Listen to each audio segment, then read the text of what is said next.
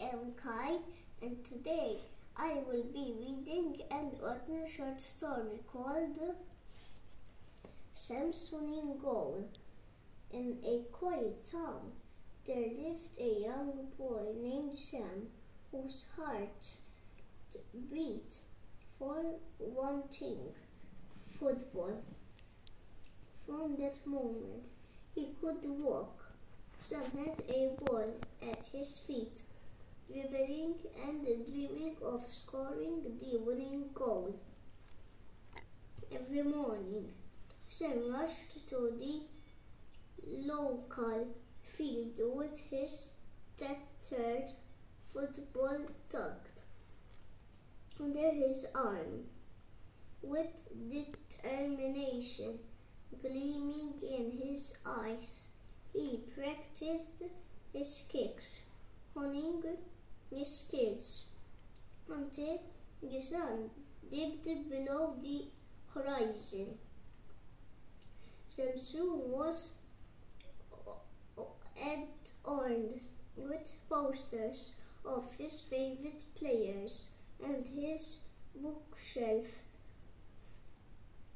overflowed with football trophies he had won at school tournaments. But there was one trophy missing the championship trophy of the town's annual football competition. The championship day arrived and Sam's heart raced with excitement.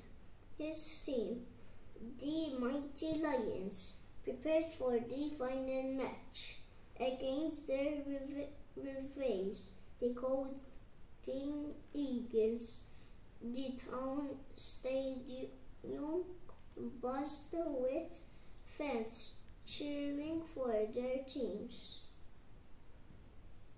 As the game commenced, Sam dribbled past defenders, his heart pounding with each kick. With menu, minutes left on the clock and the score tied, Sam found himself facing the goalkeeper with unwavering focus. He took a deep breath and shot the ball. Time seemed to freeze.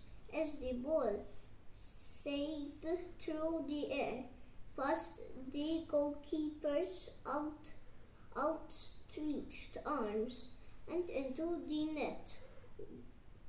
The crowd er, erupted into cheers. As the referee. Blew the final whistle. The mighty Lions had won. Amidst the, the jubilation, Sam was host, hosted onto his teammates' shoulders, his face beaming with joy. He held the championship trophy high. Tears of happiness gliss, gl, glistening in his eyes. That night, as Sam lay in bed, clutch, clutching his trophy, he realized that the true victory wasn't just about winning the game. It was about the love and patience he felt for football, the friendships he had for, forged, and the belief that hard work and dedication could turn dreams into reality. And as he drifted off to sleep.